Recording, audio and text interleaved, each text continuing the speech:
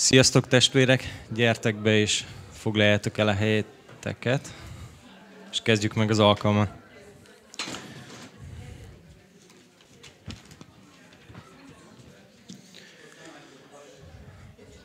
Nagy szeretettel köszöntelek benneteket, azokat is, akik az interneten keresztül követnek minket. És egy kérdésem lenne, hogy van-e, aki most járt itt először nálunk egy kész felemeléssel jelezze felénk, és kap egy kis ajándékcsomagot. Nincs. Jó. Uh,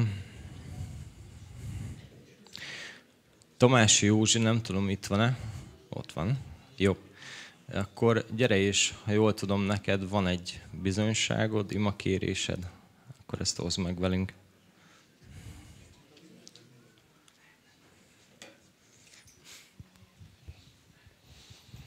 Békesség Isten áldjon meg benneteket. Gondolkodtam az utóbbi időben, hogy mennyire úgy állunk Isten előtt, hogy nem vagyunk képesek megvallani Istent az emberek előtt. Pedig Jézus azt mondta, aki rólam tesz bizonyságot az emberek előtt, én is bizonyságot teszek őróla Isten előtt, az Atya előtt.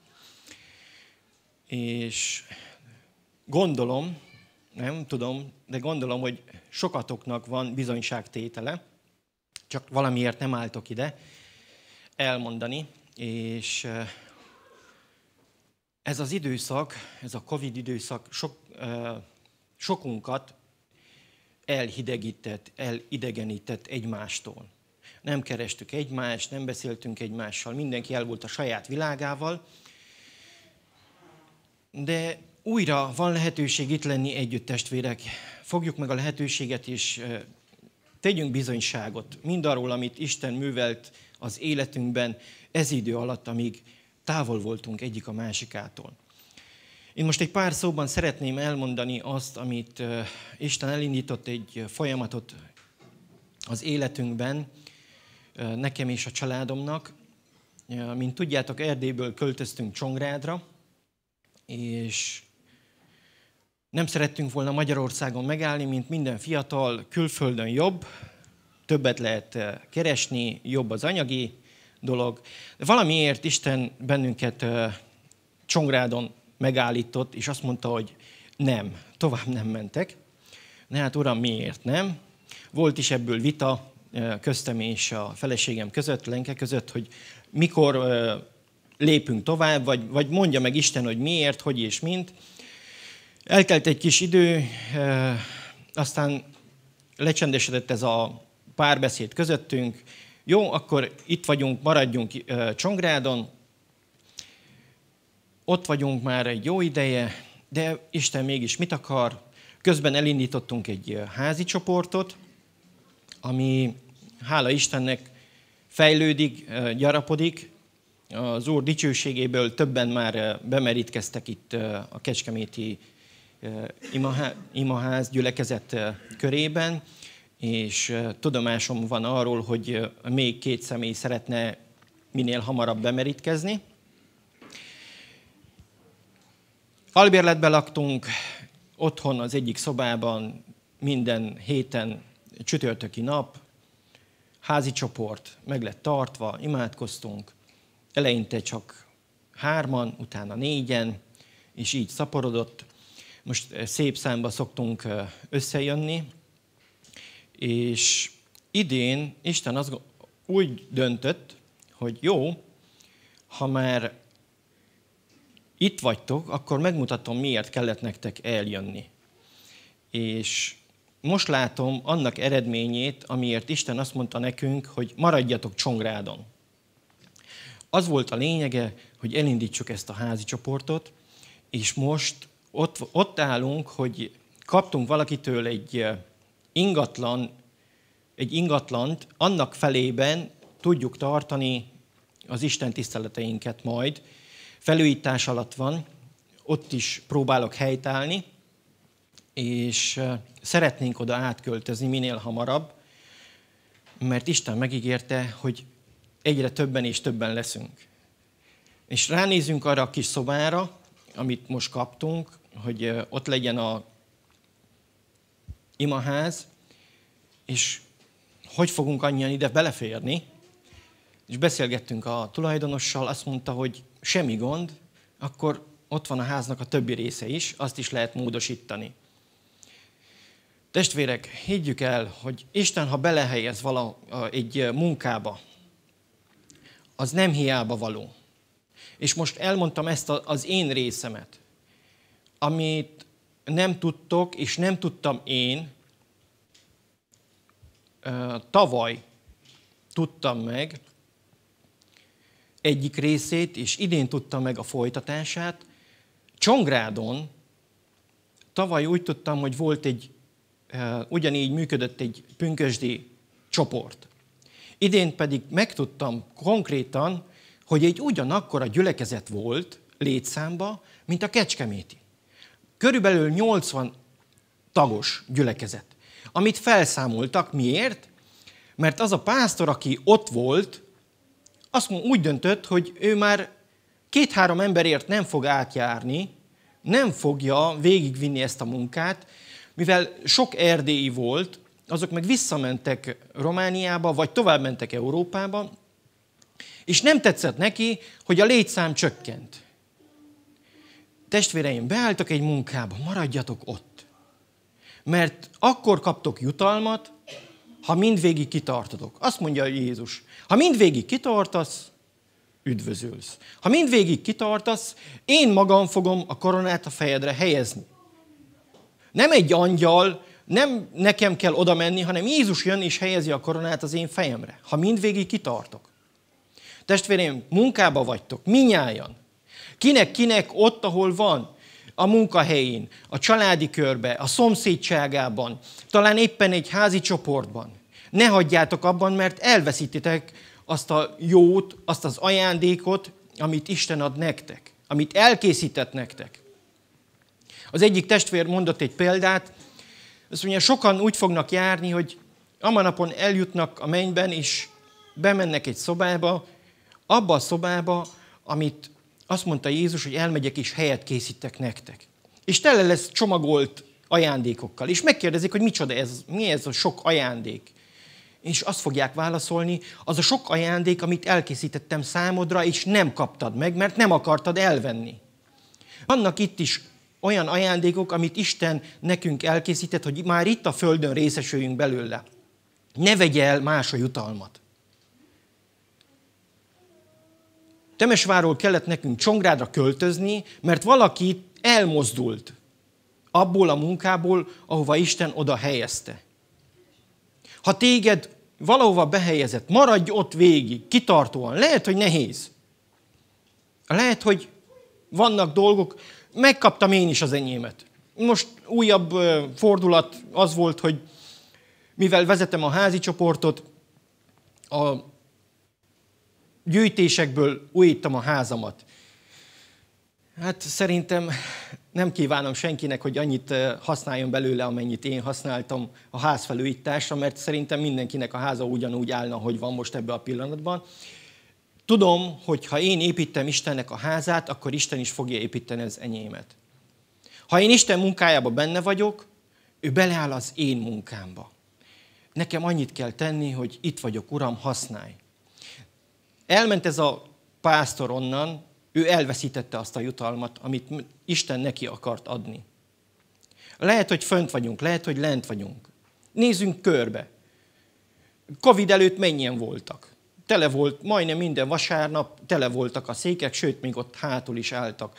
Mostan Szilárd csődöt kéne mondjon, hogy jaj, ha kevesen vannak, akkor megyünk tovább. Állunk tovább egy nagyobb gyülekezetbe. Nem a létszám a fontos, nem a létszám, hanem a minőség, testvérek. Milyen, milyen kapcsolatunk van Istennel. Felszínes kapcsolat, és amikor jönnek a próbák, akkor megakadunk, vagy van egy teljesen igazi kapcsolatunk Istennel, és tudunk tovább lépni. Szeretném, hogyha segítenétek abban, imádkoznánk azért, hogy a Csongrádi gyülekezet, a Csongrádi házi csoport növekedjen, szaporodjon, és a missziót megmaradjon Isten akarata szerint. Ez az egyik. És a másik, szeretném, hogyha tudnánk imádkozni azért, hogy mindenki megmaradjon abban az elhívásban, azon a helyen, ahova Isten oda helyezte. Addig, amíg nem mondja Isten, hogy jó, most már menj tovább, addig maradjon meg abban az elhívásban, abban a dologban, amit Isten rábízott. Gyertek is imádkozzunk ezért. Amen.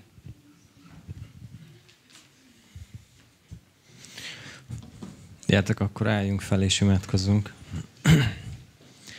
Legyetek szabadok. Istenem, én köszönöm neked Csongrádi gyülekezetet, és köszönöm Istenem az, hogy, hogy te elhívsz embereket, és lehet, hogy van, aki feladja, lehet, hogy van, aki van, aki nem rád néz, és, és abba hagyja ezt a munkát, de Istenem olyan jó, hogy te támasztasz fel új embereket, akik, akik meglátják, és te szövet szerint valóak. Kérek Istenem, hogy te, te áld meg a Csongrádi gyülekezetet, és add Istenem, hogy Csongrádon ott tudjanak fény, só és világosság lenni.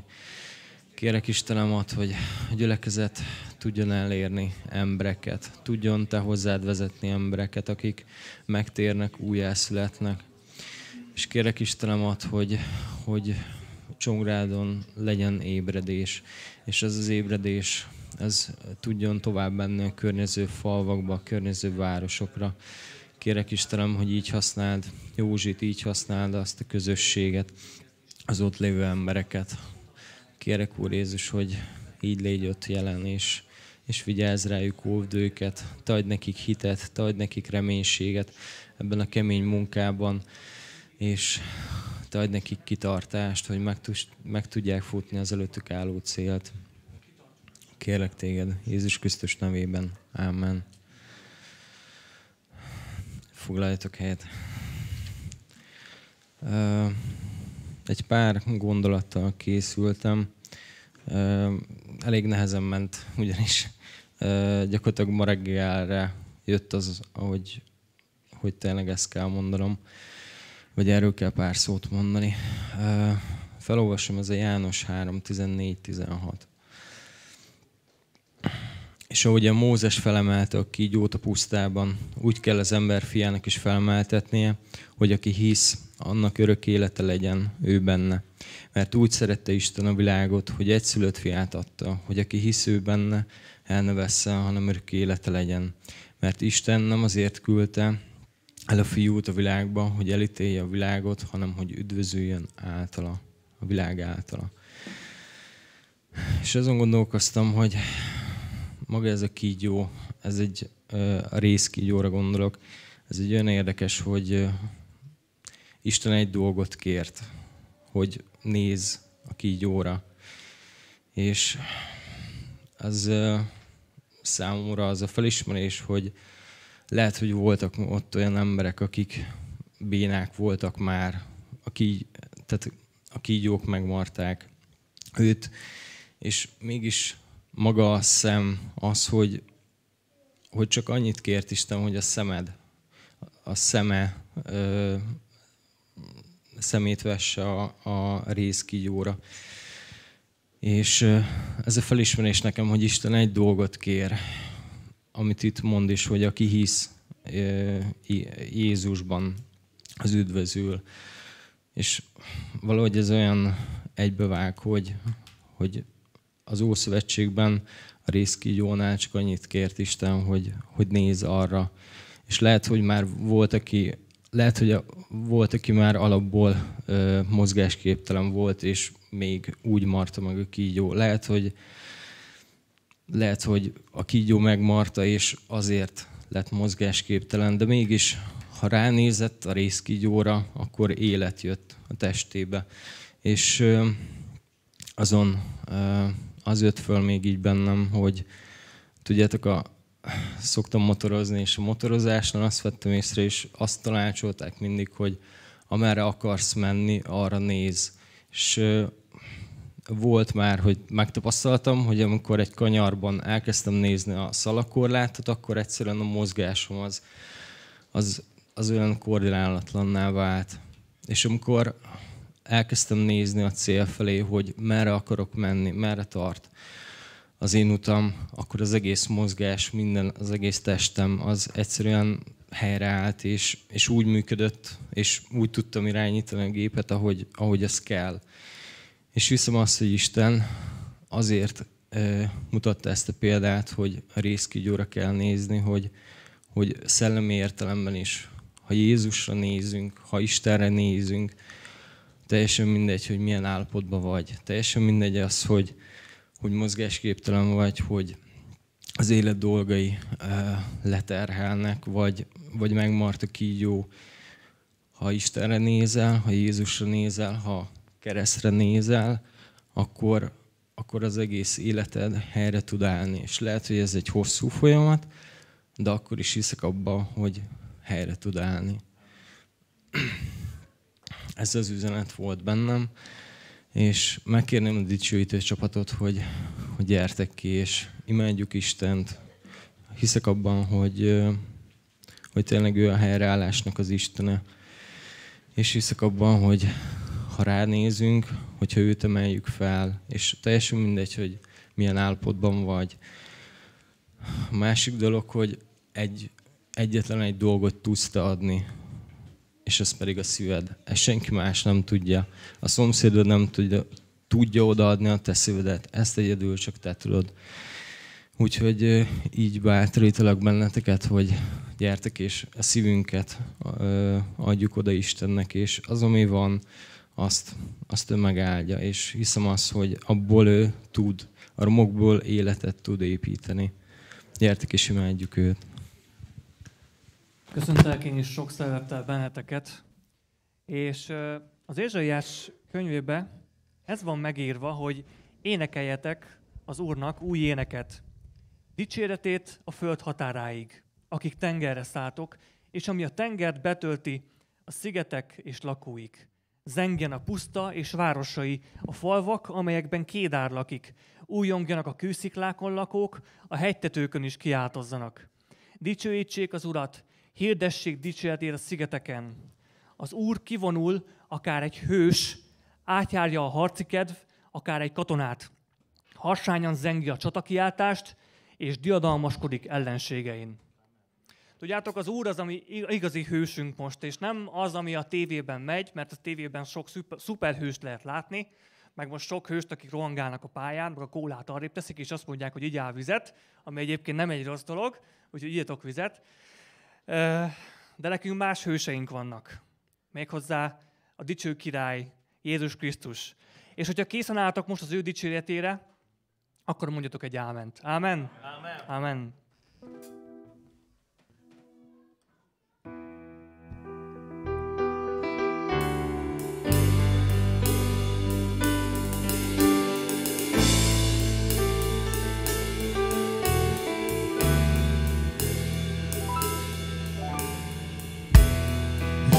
Hősök jönnek és eltűnnek.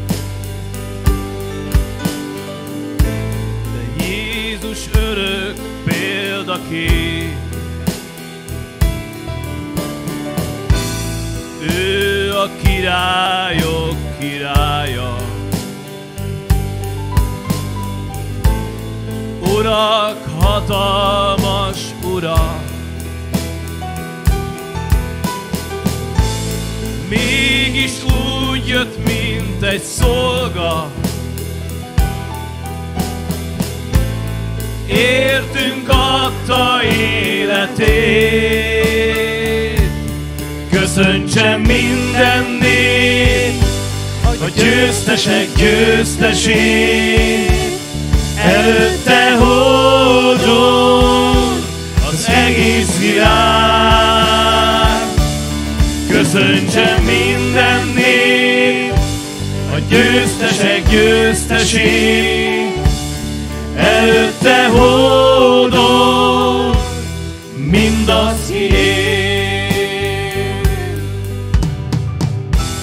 A mindenség ura a hősünk, megtöri a bűn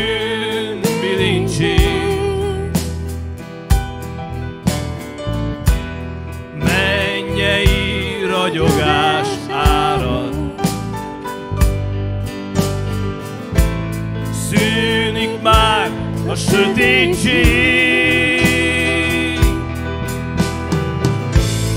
Győztes harcba vezet minket. Kardján megcsillan a fény. Köszöntsem minden név, a győztesek győztesét. Előtte az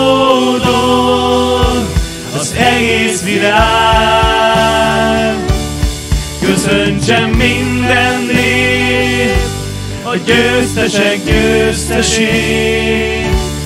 Előtte hódol mindaz ki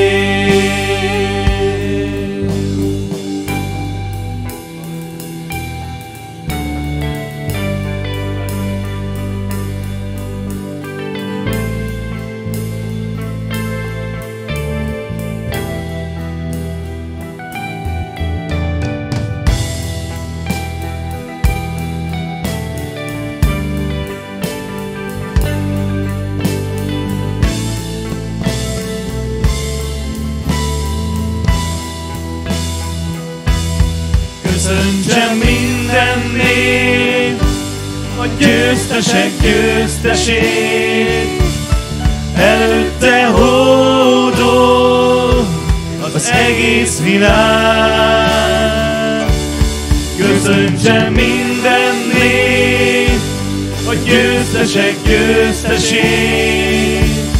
Előtte hódol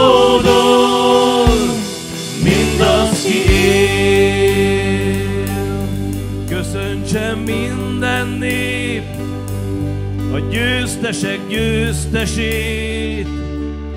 Előtte hódol az egész világ. Köszöntsem minden nép a győztesek győztesét. Előtte hódol mindaz, ki él. Mi hódolunk előtted, Atyám, és téged emelünk fel. És köszöntünk téged ebben a gyülekezetben. Köszöntünk téged, Názáreti Jézus, a dicsőségnek a hatalmas királya. Köszöntünk téged, szeretünk téged, és ragaszkodunk hozzád. És az a szívem vágya, Uram, ez a drága gyülekezet buzduljon fel a te dicséretedre. Buzduljon fel a te imádatodra, Uram. Szabaduljon fel a szívünk. Áradjon a dicséret, Uram. Tölts meg bennünket a te drága lelkeddel. Vágyom arra, Uram, hogy most a dicsőítés alatt szabaduljanak fel a szívek.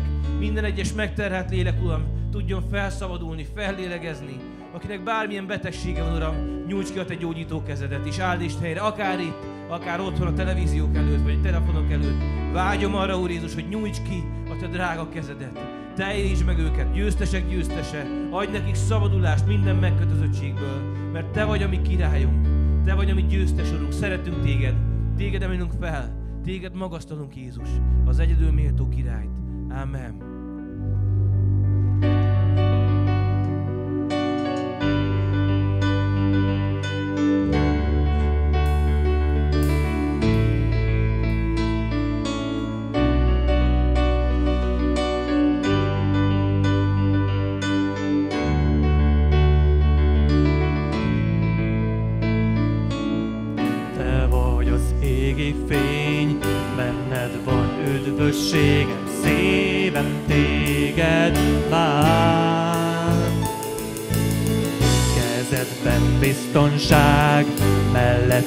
Élet vár, nem félek többé már.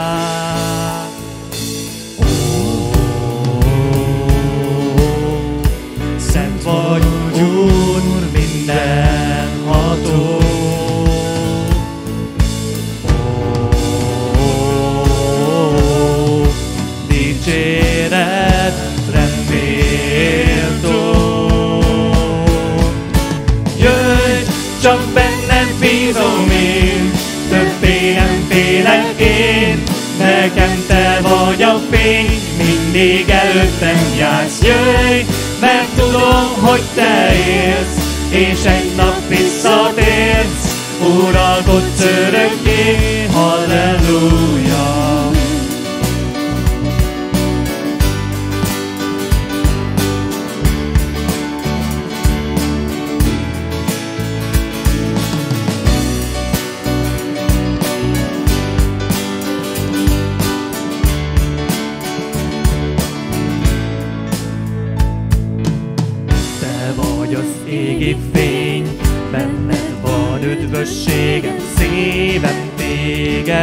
vár. Kezedben biztonság, melletted élet vár, nem félek többé már.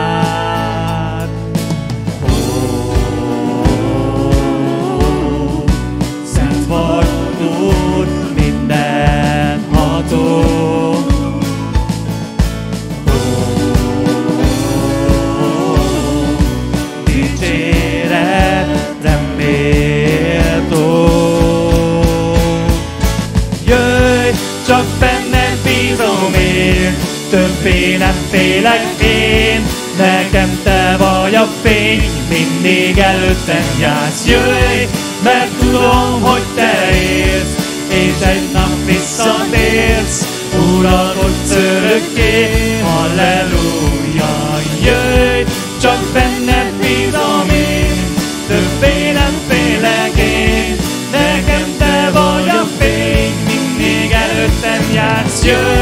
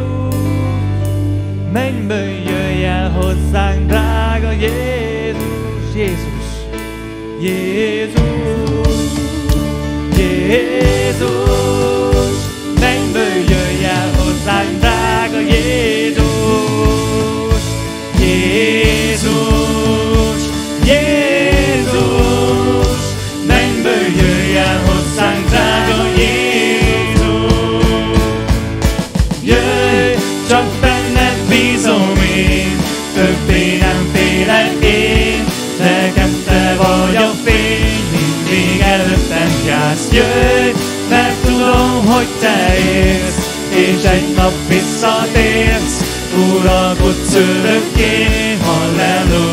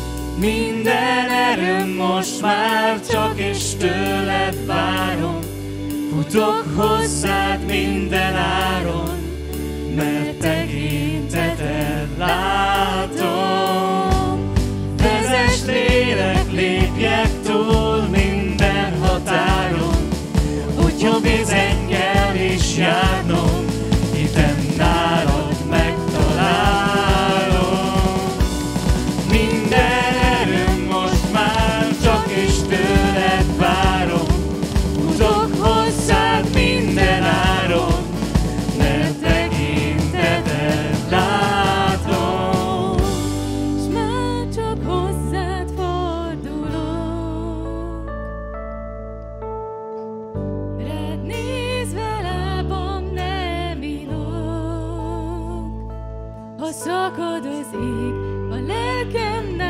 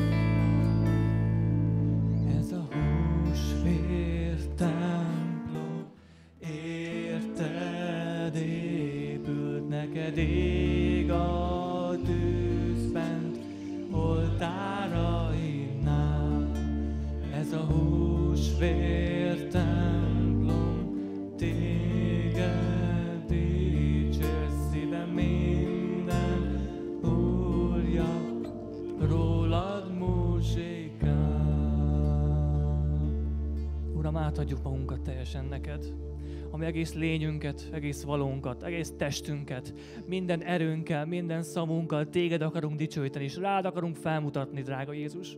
És fogadd el tőlünk a mi dicséretünket, mint kedves áldozatot. Istenem, én arra kérlek téged, hadd legyen ilyen az én életem, és nem csak vasárnaponként, hanem legyen hétközben is az én életem egy rád mutató jel, Uram, egy példa, amit, amit tudnak az emberek követni, amin keresztül rá tudok mutatni Jézusra. Uram, én arra kérlek téged, így szentelj meg, így járd át az én egész lényemet a te szent szellemeddel. Uram, újíts meg, eleveníts meg, tisztíts meg, Uram, a te tüzeddel. Köszönöm Istenem, hogy ezt megteszed. Uram, és én átadom az én egész lényemet neked, hogy így dicsérhesselek téged.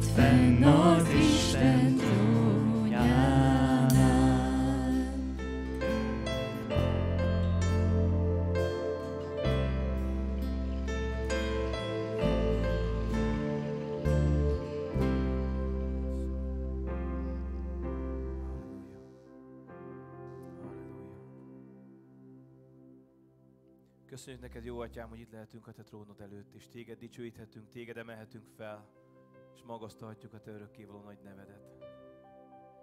Annyira hálás vagyunk, hogy megbocsátottad minden védkünket, és eltörölted, minden hamisságunkat. És ha megvalljuk a bűneinket, te hű és igaz vagy, hogy eltöröd ezeket, Uram. Annyira köszönjük ezt neked. Köszönjük, hogy ott vagy fenn az atyánál, és készül már a hely a te néped számára. Akarunk mi is felkészülni veled való találkozásra. Akarunk tökéletes, szeplőtlen mennyasszony lenni. Szükségünk van rád, Uram. Nem megy nélküle, csak is veled. Így kérünk, hogy áldj meg bennünket, és szólj hozzánk a te élő, eleven ígéden keresztül. Amen. Foglaljatok helyet, testvérek! Nagyon szépen köszönjük a dicsőítő csapatnak a szolgálatát.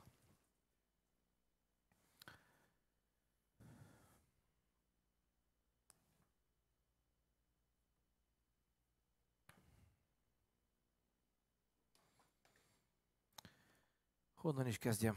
Igazából elég nehéz volt az elmúlt hétnek az első fele, és nem tudom nektek megmondani, hogy miért.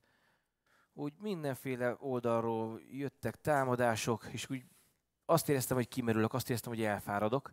De nem volt egy konkrét indok, hogy most egy probléma lett volna, hanem ugyan egy ilyen általános kimerültség, lemerültség eh, lett rajtam úrrá, és tudjátok, amikor az ember elfárad, vagy amikor gyengébb az immunrendszere, akkor minek van nagyobb esélye?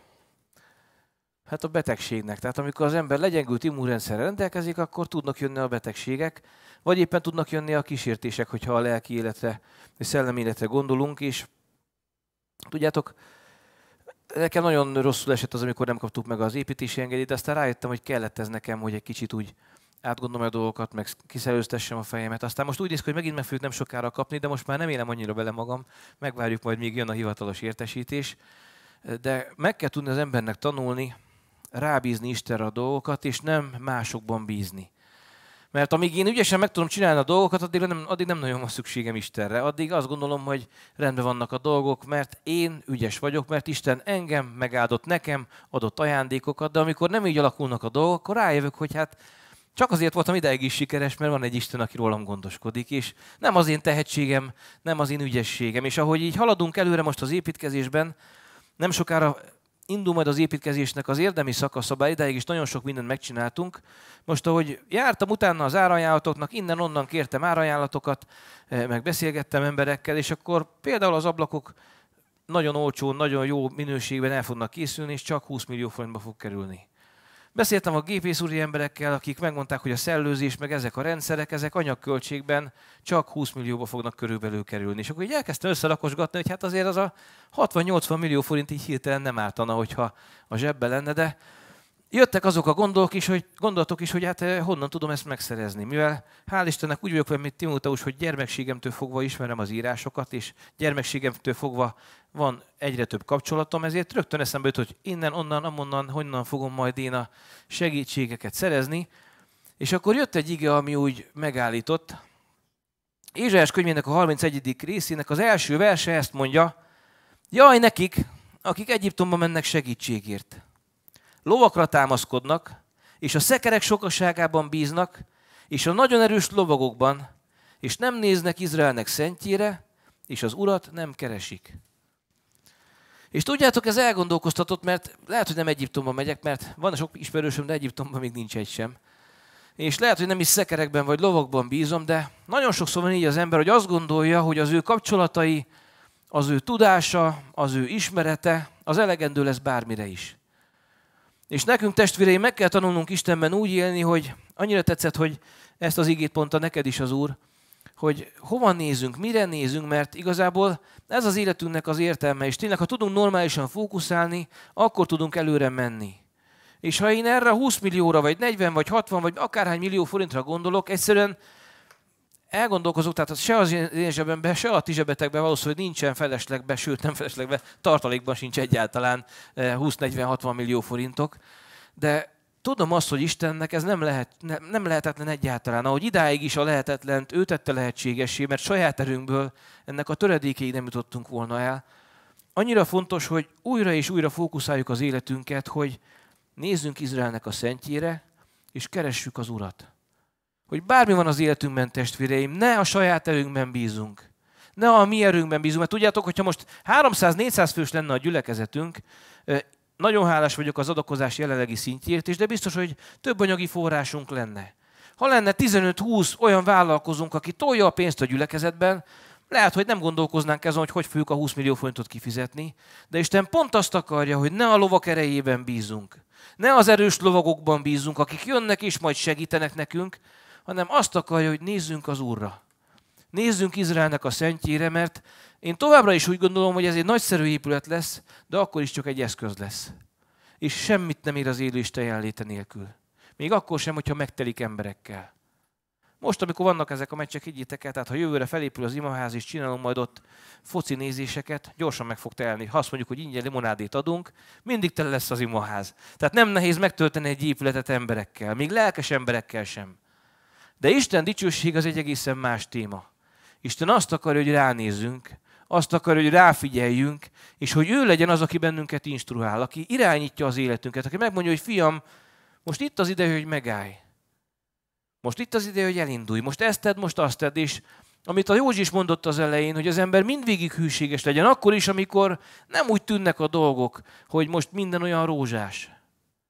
Nagyszerű élmény lesz én véleményem szerint az imaház átadó amikor kész lesz az épület, be van rendezve, virágokkal, érezzük a sülteknek a gőzölgését a konyhából, mindenki boldog, mindenki örül, és valószínű, hogy akkor sokan cserélnének majd velünk, hogy de jó egy ilyen gyülekezetbe járni, ahol egy friss imaház átadó van, milyen jól működik.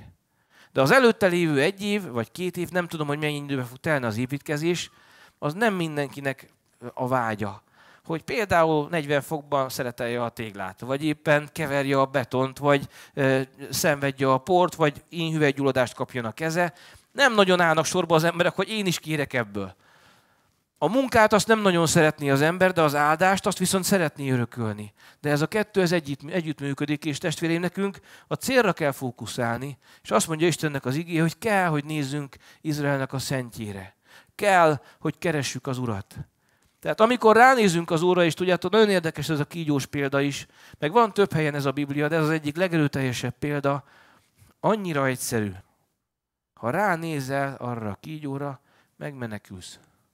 Se megvallást nem kellett tenni, se bűnbánatot nem kell tartani, csak ránézni arra a kígyóra, és az ember szembesült arra azzal, hogy, mert igazából ez Izrael bűneinek a következménye volt, és ha megnézzük az Ószövetségben, az a sok-sok nyomorúság, az nem Istennek a büntetése volt, hogy bocsássatok meg a szélt, jó, szóért, hogy jól megszivatja a népet. Istennek nem ez a célja.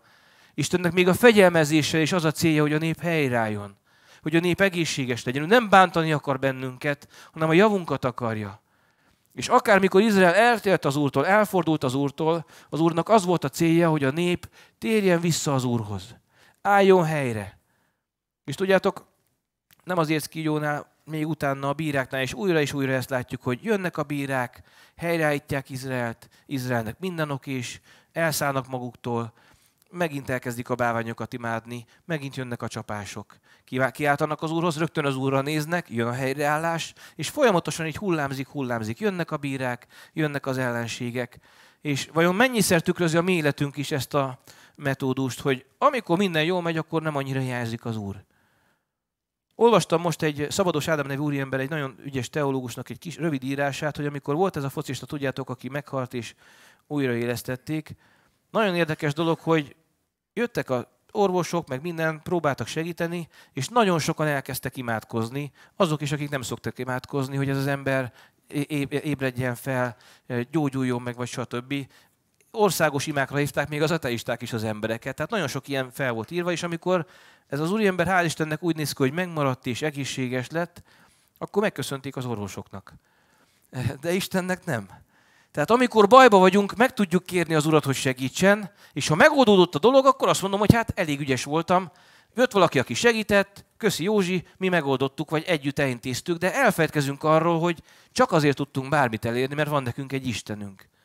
Kell, hogy ő ránézzünk, testvéreim, és kell, hogy ne saját magunkban bízunk, ne a saját erőnkben bízunk, hanem olyan emberek legyünk, akik ránézünk az Úrra, és hogyha nem látjuk őt, akkor pedig keressük őt.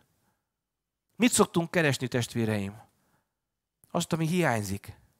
Azt, amire tudjuk, hogy szükségünk van. Ha elhagytál valamit, azt keresed, mert akarod, hogy meglegyen. Mert úgy vagy nyugodt, hogyha itt van. Tudjátok, nálam volt egy jó ideig, szokott is lenni ilyen, kedves felségettől kaptam egy ilyen tarsoly lemeztét, egy ilyen oldal kis szütyű, amiben bele tudom mindenemet rakni, és amikor ez itt van az oldalamon, akkor meg vagyok nyugodva, mert tudom, hogy mindenem megvan. Mert amikor csak úgy volt, ezek a ö, milyen táskák, autós táskák nekem azért nem jók, mert ha én lerakom, akkor az le van rakva. Tehát, hogy az, ö, az nem tudni, hogy hol van, de ha hozzám van valahogy milyen módon ragasztva, akkor tudom, hogy megvan. És tudjátok, nagyon sokszor az ember keresi a dolgait. Voltak álmatlan éjszakáim, amikor hol lehet a pénztárcám, hova tettem, mert benne van a bankkártyám, elhagytam, mi lesz. És az ember agyalgat, folyton keres. Amire szüksége van, azt keresi.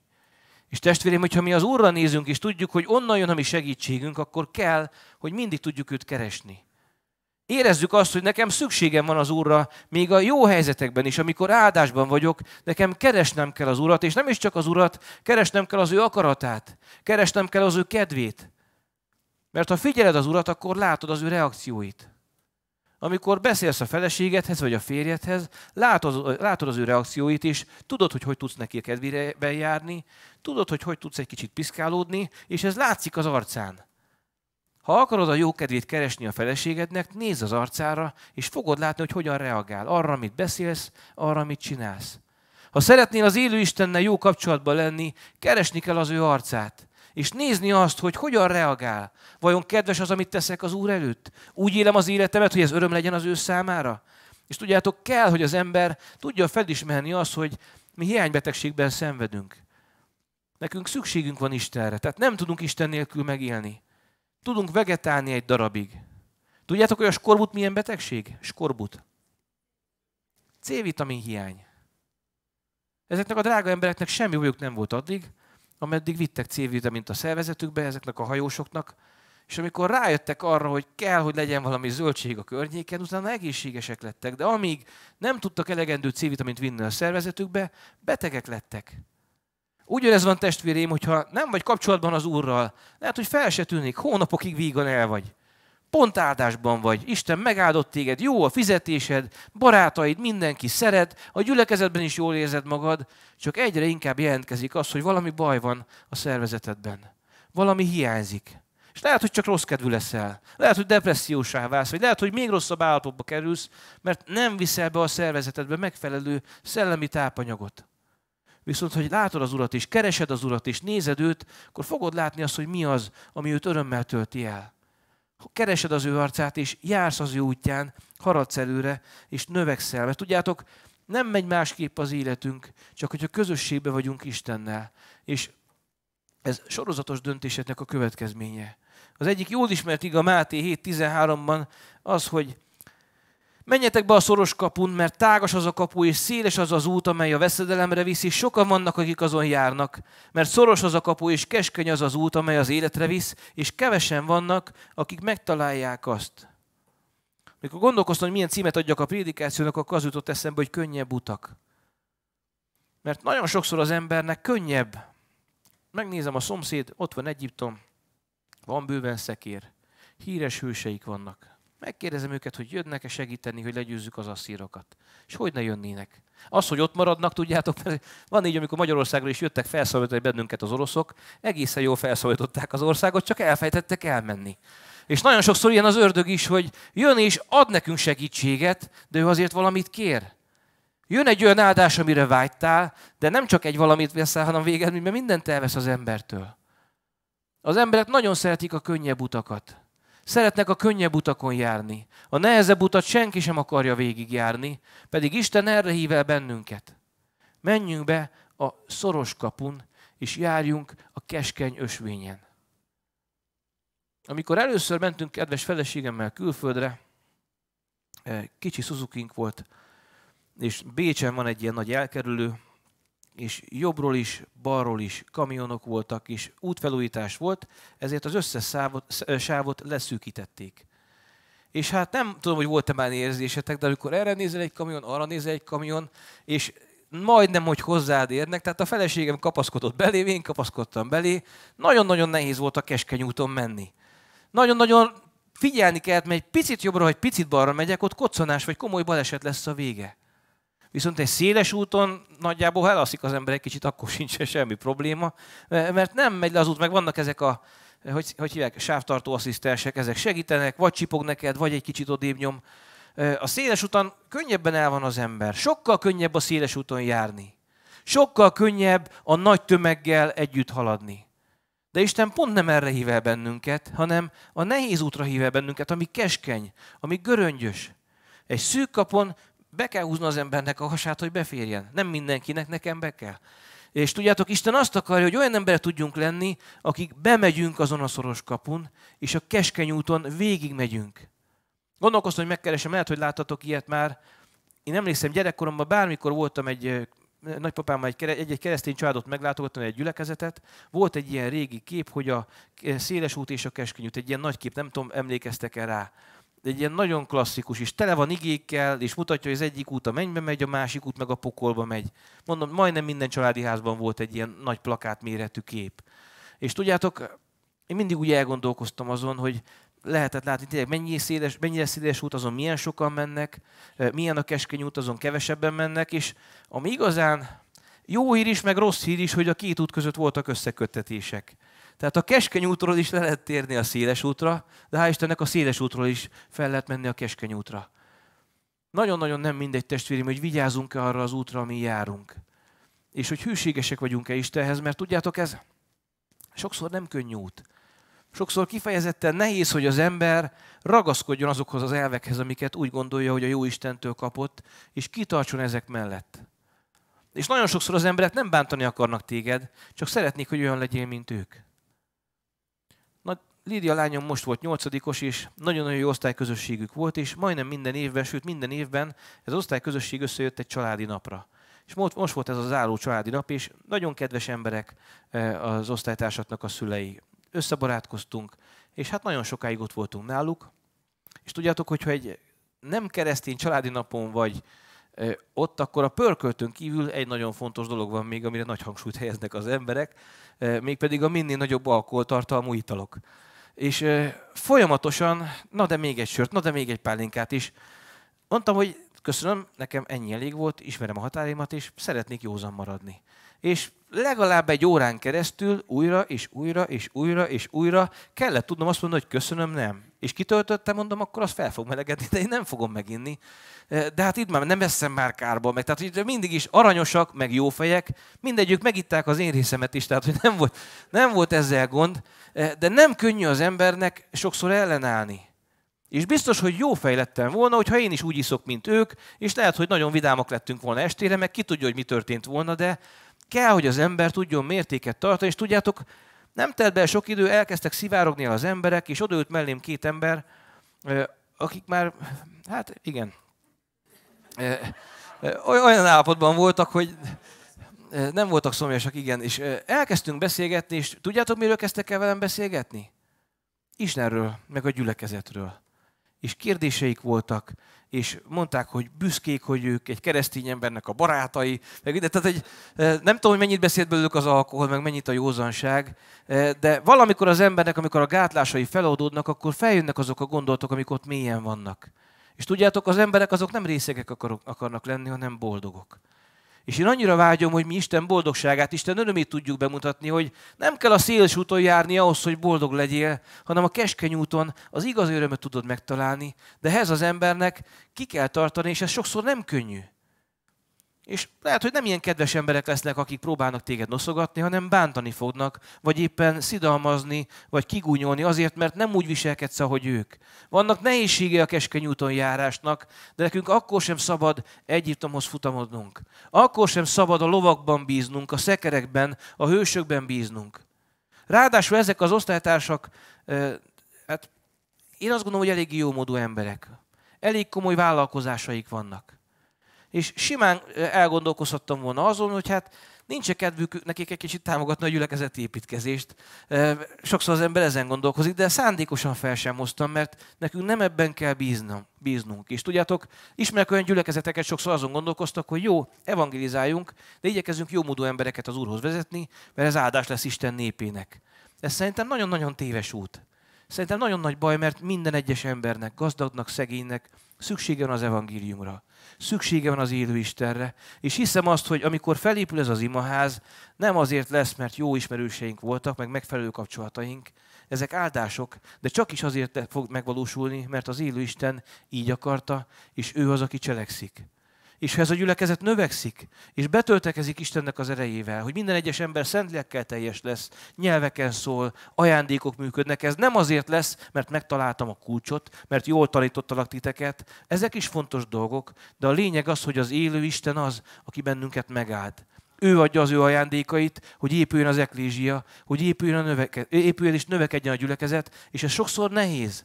Sokszor ínséges időkön kell keresztül mennünk. A pusztaságon keresztül kell mennünk, hogy Isten meg tudjon bennünket áldani, hogy meg tudjon bennünket erősíteni, hogy tudjunk növekedni.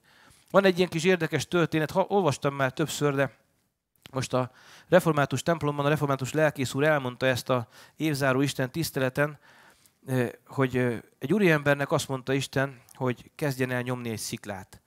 És ez az úriember éveken keresztül ami a csövön kifért, nyomta azt a sziklát, úgyhogy ez a szikla nem mozdult el sem erre. Rövidítve mondom a történetet, mert ez egy nagyon szép hosszú anekdota. Nem mozdult el sem erre ez a szikla. És utána jött az ördög kísértése, hogy figyelj, évek óta csinálod, nézd meg, egy centit nem mozdult odébb, mi értelme ennek az egésznek, minek végzed ezt a munkát, és hál' Istennek jó hívő ember volt, és mielőtt abba hagyta volna a munkát, elpanaszolta a problémáját Istennek, hogy Istenem, évek óta csinálom ezt, és tényleg semmi nem működik. Én úgy gondolom, hogy ezt abba fogom hagyni, mert nem bírtam eltolni ezt a sziklát. És Isten azt mondta, hogy én nem kértem tőled, hogy told a sziklát, én csak azt kértem, hogy nyomd ezt a sziklát. És nézd meg ez alatt a néhány év alatt, milyen karjaid lettek. Milyen hátad lett, milyen lábad lett, hogy megerősödtél, és mivel hűséges voltál, ezért majd én elmozdítom azt a sziklát. És tudjátok, nagyon sokszor így vagyunk, hogy azt érezzük, hogy a munkánk az céltalan, azt érezzük és látjuk, hogy nem történik nagyon nagy változás. Nem történnek azok az áttörések, amit szeretnénk az életünkben. Imádkozok évek óta a férjemért vagy feleségemért, nem tért meg. Imádkozom a családtagjaimért, nem, nem történt meg a változás. Mi értelme az egésznek? Tolom azt a sziklát, és még sincs változás.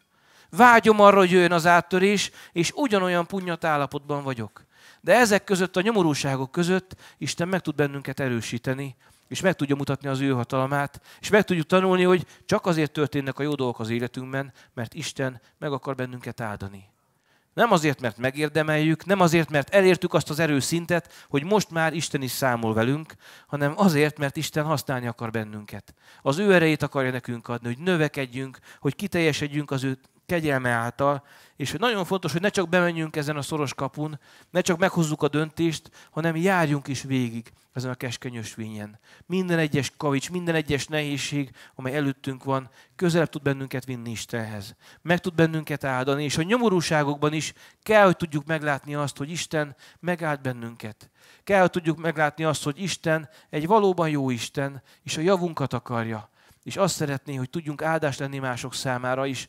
Sokszor nem látjuk, hogy mi miért van. A kísértések, a próbák viszont jönnek az embernek az életében.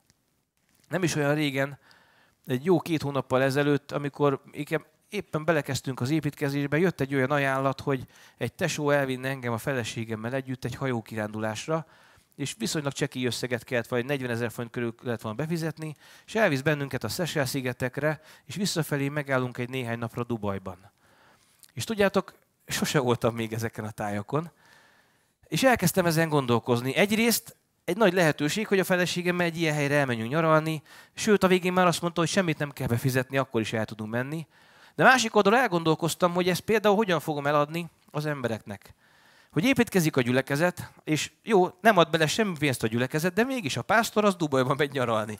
E, tehát ebből, ha bármilyen hír lett volna, simán meg tudta volna törni az építkezést is. Nagyon fontos, hogy az ember ilyen dolgokra odafigyeljen. Vagy most, amikor én összeraktam magamból, hogy nagyon jó lenne ez a 60 millió forint, valahonnan, e, jött egy ajánlat éppen a tegnapi napon, hogyha én egy-két dolgot úgy teszek, ahogy az az úriember szeretné, akkor meg lesz ez a pénz. Ezt lobby tevékenységnek szokták finoman fogalmazni, de e, csúnyában nem akarom fogalmazni ezt az egészet, de annyira elgondolkoztam ezen, hogy amikor tényleg ott vannak a próbák, vagy a nehézségek, az ördög az mindig ott van és készen áll, és ráadásul testvérek által is ö, tud nagyon ügyesen kísérteni. Sajnos ebben nagy gyakorlata van, hogy a hívő emberekkel kísér- kísértse meg a többi hívő embert. És engem annyira megerősítette az ige, hogy én nem akarok Egyiptomban bízni. Én az Úrra akarom bízni magam, és nem látom előre, hogy hogyan, miként fognak működni a dolgok. Izrael nem látta azt, hogy hogyan fogják legyőzni az ellenséget. Volt olyan, hogy darazsakkal győzték le az ellenséget. Erre nem nagyon lehet felkészülni, nem nagyon lehet idomítani a darazsakat, hogy hajrá, ott az ellenség, nyomuljatok. Volt olyan, hogy megállt a nap. Volt olyan, hogy magától menekült az ellenség, vagy éppen egymást győzték le az ellenség. Isten egy nagyon-nagyon kreatív Isten. Ő annyit kér tőlünk, hogy bízzunk benne. És menjünk végig a keskeny ösvényen, egészen a célig, és ő fogja a következő lépést megmutatni. És én nagyon-nagyon vágyom azt, hogy tudjam nektek elmondani, testvérek, hogy ebben a lépésben az Úr volt velünk, a következő lépésben az Úr volt velünk, és itt vagyunk a célnál, elkészült az imaház, és megtelt Isten dicsőségével, és nem azért, mert ügyesek voltunk, hanem azért, mert engedelmesek. Nagyon nagy a különbség, testvéreim, és kell, hogy engedelmességben tudjuk járni, és tudjuk a kísértéseket a helyükön kezelni, mert olyan könnyű lenne másokra fogni. Tehát, ha valami probléma van az életedben, rá tudod fogni a másikra. Ha én most összeveszek a Józsival, hazafelé összetöröm az autót, és azt mondom, hogy ez Józsi miatt volt, ez egy butaság.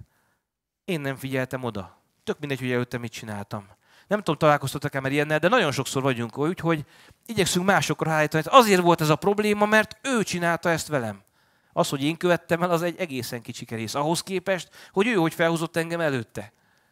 Azt mondja Jakab, jól ismeritek ezt az igét, mindenki kísértetik, mikor vonja és édesgeti az ő saját tulajdon kívánsága. Aztán a kívánság megfogalmán bűnszül, a bűn pedig teljességre jutván halált nemz. Azt mondja Istennek az igéje, vonja és édesgeti saját tulajdon kívánsága. Amikor a bűnről van szó, testvérem, akkor rólad van szó. Nem másokról. Annyira szeretnénk eltolni a felelősséget másnak az irányában. Annyira szeretnénk másokat felelőssé tenni a dolgok miatt, de Isten azt akarja, hogy mi legyünk ezzel tisztában, hogy a bűn, tudjátok, mit mondott az Úr az első embergyilkosnak, mielőtt gyilkolt volna. A bűn az ajtó előtt leselkedik. Rád van vágyódása, de ott a lehetőség, hogy uralkodj rajta. Van lehetőséged, hogy letedd a haragodat, letedd az indulatot, ott a lehetőség, hogy megbocsáss, ott a lehetőség, hogy felszabadulj, egyedül rajtad múlik. Isten megadta neked az erőt, mert nincs olyan kísértés, testvérem, amit ne tudnál legyőzni. Mert nem enged erősebb kísértéseket, mint, amin, mint amilyen erővel rendelkezel. Olyan kísértés kapsz, ami fölött egy győztes tudsz lenni. És ha azt érzed, hogy nagyon sok a teher, teher, azt érzed, hogy nagyon nagy a kísértés, ez azt jelenti, hogy te komoly erővel rendelkezel, amire nem számítanak mások. És nagyon sokszor azok az igazán erős emberek, akikről észre sem veszik. Nem ahhoz kell erő, testvéreim, hogy nagy súlyokat felemelj, bár ahhoz is kell fizikális erő. De ahhoz, hogy tudjál türelmes lenni, ahhoz, hogy hosszan tudjál tűrni, ahhoz, hogy mértékletes tudjál lenni, ahhoz igazán sok erőre van szükség. Ahhoz, hogy legyőzd saját magad, a saját kívánságaid, a saját céljaid, tud teljesen háttérbe szorítani, és legyen Isten az első, ehhez erőre van szükség. Kell, hogy az ember győzzön, és olyan csodálatos, hogy ez az erő, ez nem belőlünk fakad, hanem ez az erő is Istenből származik. Szoktam mondani sokszor ezt az igét, amit Pál mond, hogy amikor gyenge vagyok, akkor vagyok erős. Mert Isten ereje az én erőtlenségem által végeztetik el. Amikor gyengék vagyunk testvérem, akkor tud bennünket Isten használni. Tud bennünket felemelni. Amikor nem magunkban bízunk egészségedre, hanem az élő Istenben. Tehát ez az öt fontos dolog, amit itt felsoroltam. Kell, hogy tudjunk ránézni. Kell, hogy tudjuk őt keresni. Menjünk be a szoros kapon, járjunk is a keskeny úton, és kell, hogy tudjuk legyőzni önmagunkat. És az, én azt gondolom, hogy ha így éljük az életünket, meg fogjuk tapasztalni Istennek a csodáit. Meg fogjuk tapasztalni Istennek a hatalmát naponként az életünkben. Ahogy ő őriz meg bennünket, ahogy ő áld meg bennünket, és ő vigyáz ránk. Én annyira bízom, és annyira vágyom azt testvéreim, hogy ez egyre inkább növekedjen a gyülekezetben. Mert ha szeretnénk Isten dicsőségét látni, akkor ezt kell tennünk, hogy ő rá nézzünk. Mózes az Úrra nézett hosszú időn keresztül, ragyogott az arca Isten dicsőségétől. Az emberek féltek tőle, mert Istent látták benne. Én annyira vágyom, hogy bennünket Istent lássák. Az első abcselbeli gyülekezet tagjairól mit olvasunk az igében? Az emberek féltek. Rettegtek Isten népétől, mert Istent látták. Isten hatalmát láttak benne. Nem mertek csak úgy elmenni a gyülekezetben, mert voltak olyanok, akik próbálkozták, hogy átverjék Istennek a népét, a Szentlélek ezt nem hagyta. Meg is halt egy házas pár. Az emberek megteltek félelemmel, mert Istennel nem lehetett játszani.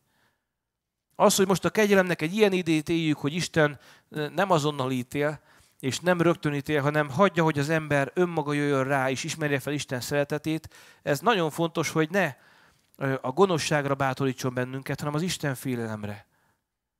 Én annyira szeretném, és annyira vágyom testvéreim, hogy mindig tudjunk úgy korrigálni, hogy ne a problémák, ne a nyomorúságok után forduljunk oda Istenhez, hanem mi van akkor, hogyha előtte fordulunk oda Istenhez, hogy felismerem az állapotom, felismerem, hogy nekem Istenre van szükségem, és odafordulok hozzá. Nem várom meg, míg jönnek a nyomorúságok az életemben. Nem várom meg, míg jönnek a bajok az életemben, hanem egyszerűen odafordulok hozzá, keresem őt, és járok azon az úton, amit ő, amire ő elhívott engem. És megtapasztalom az örömét. Én, én még egyszer mondom, testvérem, szerintem nem kell, hogy az ember a nyomorúságokon folyton átmenjen. Előtte is lehet formálódni, előtte is lehet változni. Amúgy is fognak jönni problémák, nehézségek, de egészen más, hogyha nem a bajokban jut az eszedbe, hogy van nekem Istenem, hanem már a bajok előtt is tudod, hogy van neked Istened. Jobb nem az utolsó pillanatban tudta, hogy az ő megváltója él, hanem végig ebben a tudatban élt, hogy neki egy olyan Istene van, aki él. Egy olyan Istene van, aki megszabadítja őt. Ez volt az, ami benne erőt tartott. Nem a saját ereje, nem a feleségének a szeretete, nem a barátainak a bölcsessége volt, ami őt megtartotta, hanem az Istenhez való ragaszkodása. Tegyük mi is ezt, testvéreim, ragaszkodjunk az Úrhoz, szeressük őt, vágyjuk őt, és engedjük azt, hogy ő munkálkodjon rajtuk keresztül, és lássuk meg az ő csodáit. Ahogy bennünket egyszerű eszközöket használ, dicsőségesen. És ez őt fogja felemelni, ez őt fogja dicsőíteni. Tudjátok, olyan sokszor mondjuk, amit mondtak a Péterék, se aranyom, se ezüstöm nincs, de amin van, azt adom neked. Mit van neked, testvéred? Testvérem, nekem Istenem van. Nincs saját erőm, nincs saját tekintélyem, nincs saját hatalmam, hanem bármi, amin van, az az élő Istenből származik is. Ezt soha nem akarom elfelejteni. Akarom tudni, hogy nekem nincs másom, csak ő. Minden probléma, minden nehézség, minden nyomorúság közben rá akarok nézni. Benne akarok bízni. Őt akarom keresni, az ő arcát akarom keresni. Akarok mindig a keskeny úton járni, bemenve a szoros kapun. És akarok győzni önmagam fölött. Akarom legyőzni a saját kísértéseimet, mert Isten ad hozzá erőt. Ő az, aki engem győzelemre vezet. És nem kell, hogy elbukjak. Nem kell, hogy bukott pásztor legyek. Nem kell, hogy szakadásokat okozzak. Nem kell, hogy szégyenére legyek Isten országának, hanem lehetek Isten dicsőségére. Csak rajtam múlik, nem másokon. Isten tud benneteket használni, testvéreim. Tud bennünket használni, és azt akar, hogy mindig tudjuk azt, hogy ez csak őt emeli fel. Csak is őt dicsőíti meg. Így kérlek benneteket, hogy álljunk fel, testvéreim. Kérném a dicsőítő csapatot is, hogy jöjjön előre.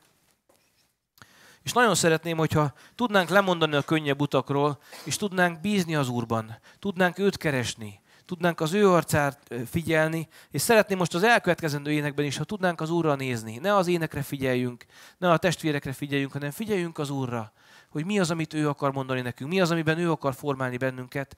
Áldja meg benneteket az Úr testvéreim. Amen.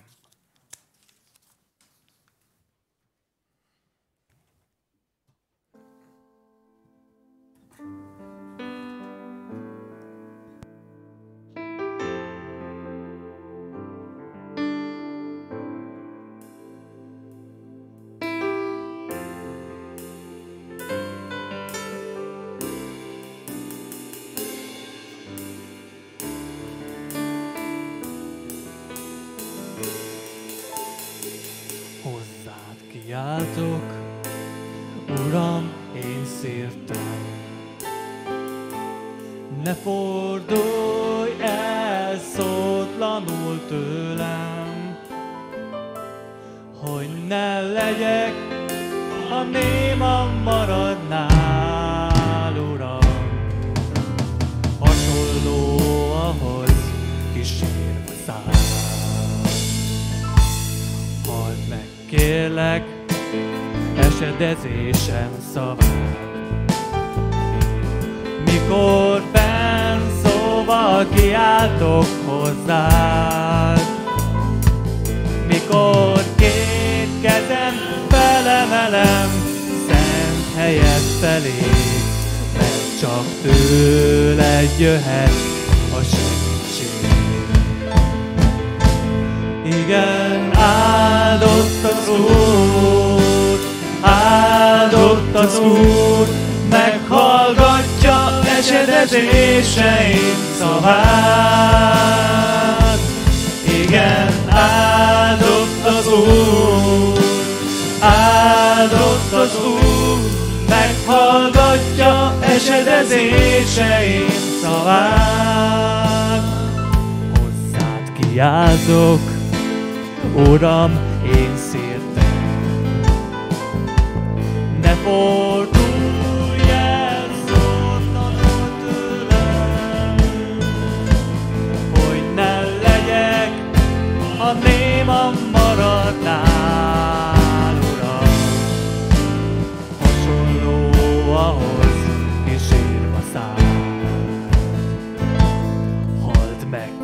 kérlek, esedezésem szavát. Mikor szóval kiáltok hozzád, mikor két kezem felemelem szent helyet felé, mert csak tőle jöhet a segítség. Igen, áldott az Úr, áldott az Úr, meghallgatja esedezéseim szavát. Igen, áldott az Úr, áldott az Úr, meghallgatja esedezéseim szavát. Áldott az Úr, igen, áldott az Úr, meghallgatja esedezéseim szavát. Meghallgatja, meghallgatja esedezéseim szavát. Meghallgatja esedezéseim szavát.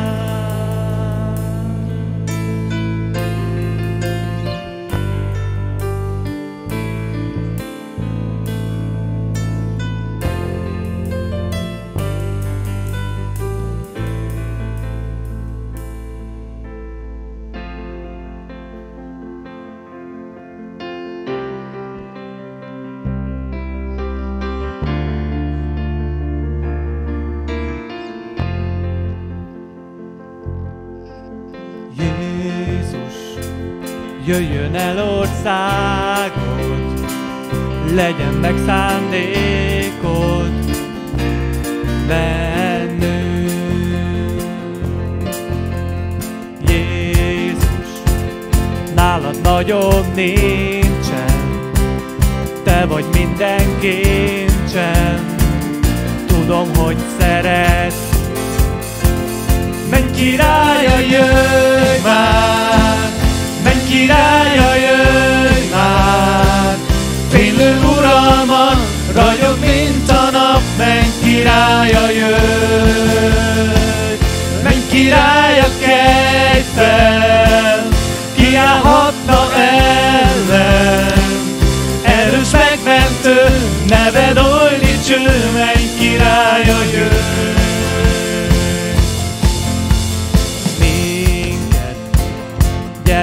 Gyermeket édettél, bűntől megmentettél. Kiáltunk Jézus, szívünk legnőbb hogy minden szem meglássa dicsőséget. Menj királya,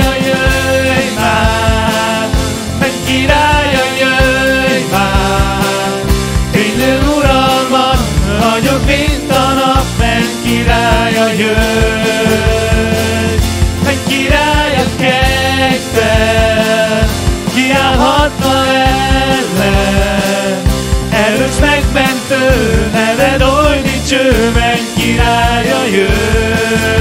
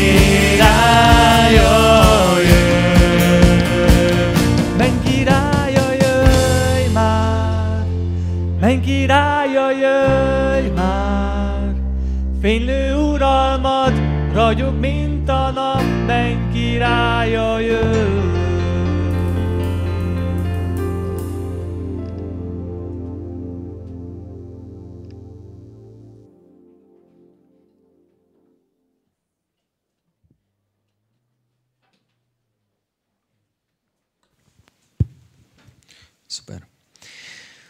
Köszönjük a szolgálatot, a, az ige hirdetést, és a dicsőítő csapatnak is mindenki, aki valamilyen módon részt vett ebbe a mai Isten tiszteletbe. Azt gondolom, hogy tényleg szólt Isten.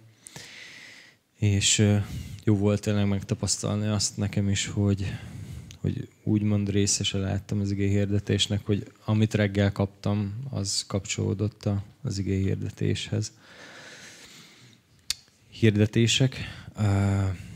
Jövő héten Kis József, Kis Öcó fog szolgálni a Debreceni élet gyülekezet lelkipásztora, illetve ima kérés, hogy kérlek benneteket, hogy imádkozzatok az építési engedélyért, hogy a rendben menjen és hogy megkapjuk.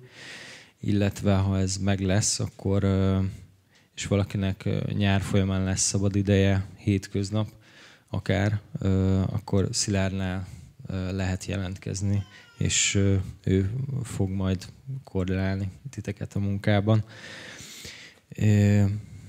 Illetve, tudom, ö, érkeztek adományok, amik ott az előtérben vagy csocsóasztalon vannak, és nyugodtan ebből válogassatok, vigyetek haza. Úgyhogy nagyjából nekem ennyi hirdetés van, nem tudom másnak, senki többet harmadszor. Jó. Akkor áldott hetet kívánok nektek, és tényleg tapasztaljátok meg Isten szeretetét, és legyetek só és világosság. Amen. Amen. Még egy dallal zárjuk az hogyha nem, nincs benne a Krisztusi bugi a lábatokba, akkor legyen benne, és vigyétek magatokkal. Szóljon az ének, áldás, dicséret, néked örökké való.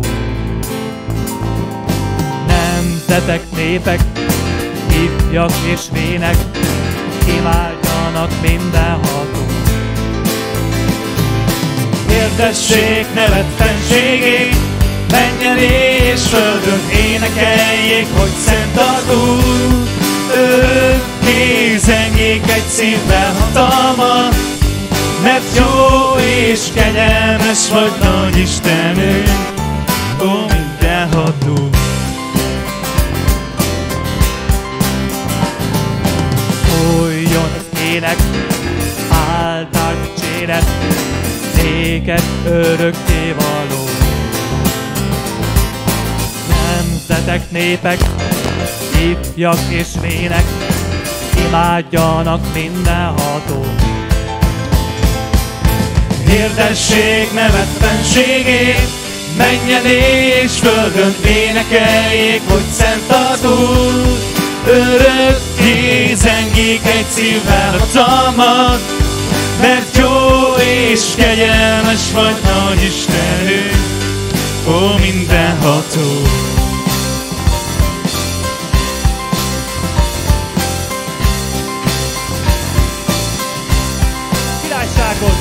Királyságot megáll örökké, trónszéken nem mozdul el. A nép, amelyet teremtettél,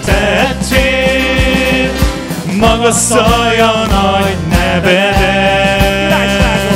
Királyságot megáll örökké, trónszéket nem mozdul el. A nép, amelyet teremtettél, magasztalja nagy nevedet. Hirdessék nevettenségét, menjen és földön énekeljék, hogy szent az Úr.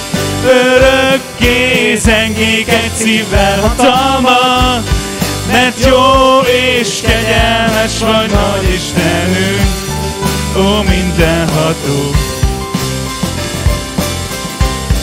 ó mindenható. Ó mindenható. Egy nagy tapsot adjunk az Úrnak. Amen. Halleluja. Dicsőség az övé egyedül. Amen.